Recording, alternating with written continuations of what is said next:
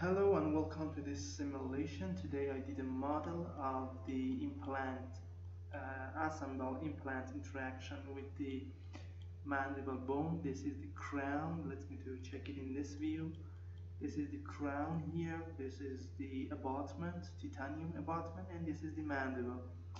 And we here we use the dynamic load as a concentrated load on the crown surfaces to observe the stress propagation. We used a huge uh, amount of the force uh, to observe the better stress propagation in the contact domain.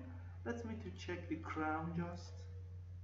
You can see this is the whole model and we can check it here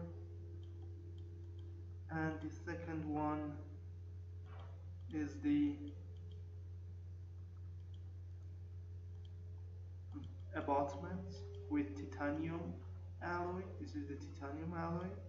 And the last one is the mandible. This is the mandible bone and let me to check it in this view. In this view and you can see the stress here. Let me to enter all and see this view and you can see that this is the height view.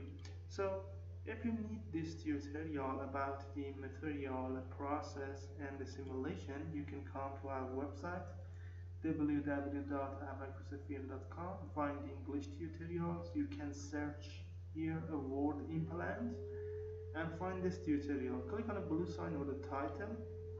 Then you will have the explanation about the design and uh, implant process and then here the simulation process and figures about the results. You can see them here. There are three important points here. The file contains CAINPN contains CAINPN English video file.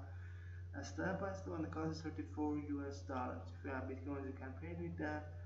If you have PayPal, you can pay with PayPal. This is a better way to use PayPal. If you have PayPal, send me an email to this address. Thank you for attention.